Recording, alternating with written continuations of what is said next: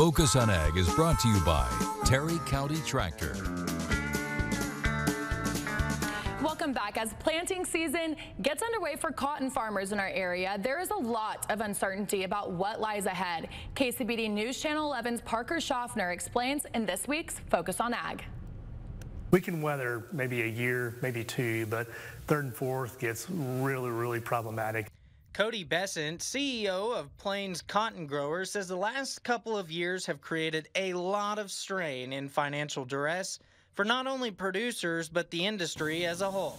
That's why he believes it's imperative for drought stricken farmers to have a good crop this year. Well, we've lost money the last couple of years. If we can gain it back the next couple, then we'll continue to maintain a good stream of business. Um, if not, then we're going to see a lot of people really go out of business that we haven't seen yet. The lack of rain has not only been hard on young farmers who are just starting, but the veterans as well. Um, younger farmers, it's a lot harder to kind of segue and to get into the industry, and a lot of the capital that they don't necessarily have is not there. Older farmers have exacerbated a lot of their uh, built up capital and wealth. In addition to having a good crop, Bessent says our producers need a new farm bill, not short term extensions like the one we are currently underneath. We've, we've certainly been working very aggressively to make some improvements to better address where cost of production is at today. Um, that will help provide some of a more certain safety net for the producer-based segment. To add to the uncertainty, the USDA is discontinuing its cotton objective yield survey, citing budget constraints.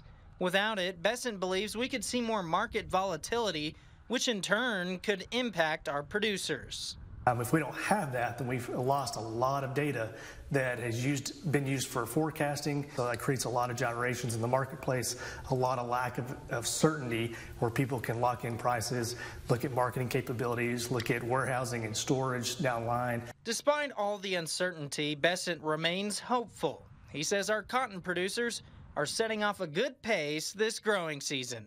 We have a good year, then we'll see more to an average to above average year. Um, people will start to put back into their uh, financial savings. They'll be able to um, uh, pay off some of their financial debt that has been accumulated the last couple of years, and then allows them some more opportunities to uh, either invest in, in, in different avenues that they traditionally have been able to do in the past, and that helps the economy grow from a natural standpoint. For this week's Focus on Ag, I'm Parker Schaffner.